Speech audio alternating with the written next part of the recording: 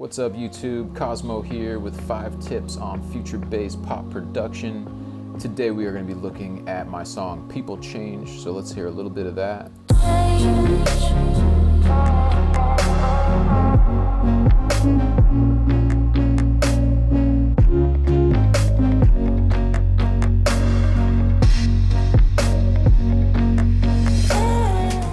Tip number one, change the LFO of your main synth for drop two in order to change the vibe there. Let's hear the vibe of the first drop.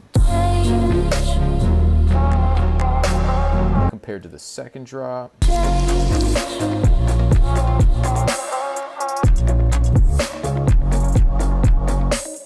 So my main synth here is, is triggering at a quarter note for the first drop.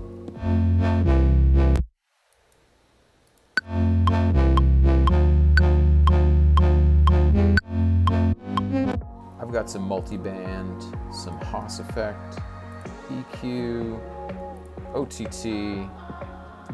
For one of these drops, I'm gonna turn on this rack, which is gonna turn on distortion, more sidechain, and some add some EQ. Let's hear that.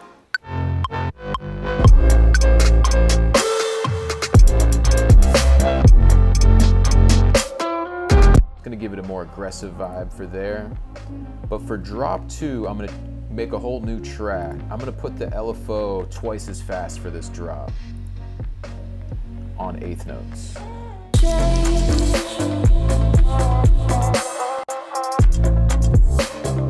I could have just automated the rate on this track, but sometimes I find it easier to make a whole new track. That way you can just process it a little bit differently. Tip number two is a simple one. Automate your activator button to go off and on. For this section, I wanted to create more space for the guitars, so it was really quick and effective to automate that button. The only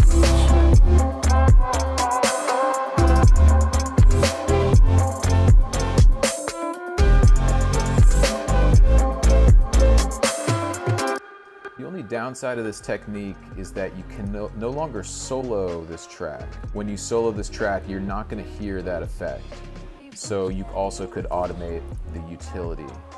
This way is just even quicker to do when you're feeling creative, so that's why I do it that way most of the time. Tip number three is to play your chords in, after you're done, duplicate the track, delete the bass notes, you're left with a monophonic line, and then from there, you might even want to change the shape of this monophonic line. Notice that this, this monophonic line is going up while the chord one was going down. Let's hear that. And when you combine it, so now I have some contrary motion going on, which is pretty effective. I usually will tweak the sound of this patch too. Notice I have more effects on this one and a little bit of vibrato. Tip number four is use parallel distortion. Here I've got a sample of an 808 that I put in a sampler and tuned to C. Let's hear it without the parallel distortion.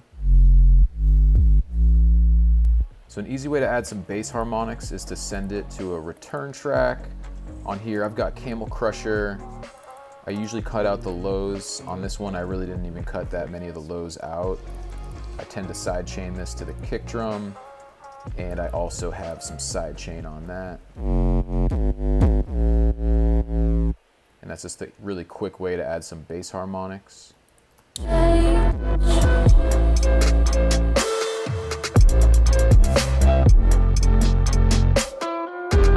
Tip number five is add vibrato to your leads. Here's a monophonic line. I want to add a little bit of tension, so I'm creating an LFO that's going as fast as possible, not BPM synced. That's gonna modulate the master tune ever so slightly, so watch this thing move a little bit. Something I didn't know for a while is that uh, over here in Serum, you can click this triangle and create vibrato this quickly, and that makes it even easier to do so. All right, that's it for today. Thanks for watching. Check out the song if you'd like to. Hit subscribe on YouTube, and if you want more tutorials, follow me on Instagram. Peace out, y'all.